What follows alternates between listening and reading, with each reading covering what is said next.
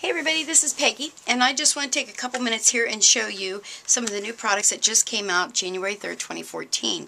This is one that I bought, was the Banner Framelit Dies, and I love them. You're going to get six different um, sizes of banners, and they're real popular, and what I liked about them is that they're so versatile. I can use them for all kinds of things, and so I just wanted to show you this. Now, this is a little magnetic sheet that I get at the hardware store. It's um, It comes in a pack of three. They're like five bucks, and you can cut them down, and they actually use them to cover registers. I don't know why you would cover your register, but there must be a reason.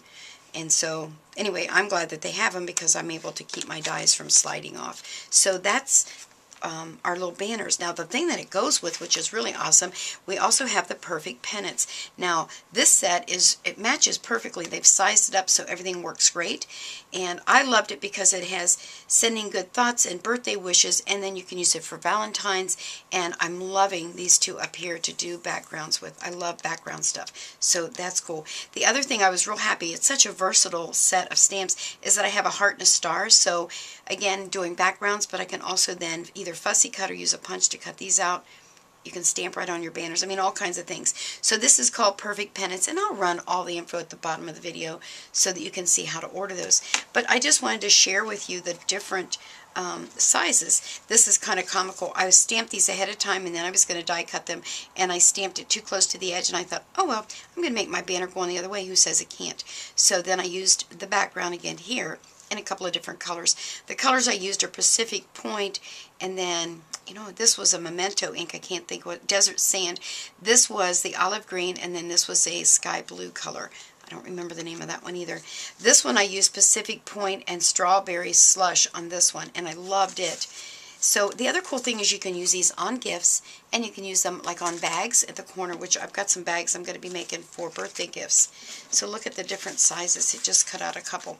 This is kind of a neat thing you can do. You can layer your dies and then I can actually get a frame to go around something. So that's kind of a neat thing that they nest that way. I wanted to show you how I also used our wood grain embossing folder, which I love for fall things and for guy things. When I was cutting out this banner, it was kind of a good accident. I cut it out of a piece of scrap I thought, but actually this was a panel that I was going to use for a different card. So there's the banner I wanted to show you that I'm actually going to use. Mm, where'd it go? Here. Because I thought that would be really great. Life doesn't have to be perfect to be wonderful. And put that on a little thinking of you kind of a gift. But look what happened. I got these little fuzzies everywhere. I cut it out here, and I thought, oh, darn, that was a front to a card. Well, you know what? I'm just going to emboss it. So I did. I laid it on the card front and kind of guesstimated, because I don't use the Stamp-a-ma-jig or Thingamajig. I'm not very good with that thing. I haven't got it figured out quite yet. I will one day.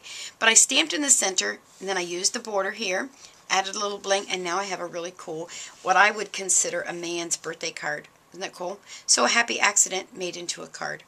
Well, that's all I wanted to do today was just to show you that this is one of the things that just came out um, that you can use to make some really awesome cards. And the other thing I'm going to be using this for is I've got some scrapbooking. I'm going to be doing it today while my husband's watching his Bengals play football. And I'm going to use this across the top of a scrapbook page to put the title. Well, I hope you've enjoyed this little video. And again, at the end, I'll give you all the numbers. And you can go to my website, Stampin' Up website to order. I also have a blog where I post daily, and I'll put that on there as well. Thanks for stopping by, and have a great day. Bye.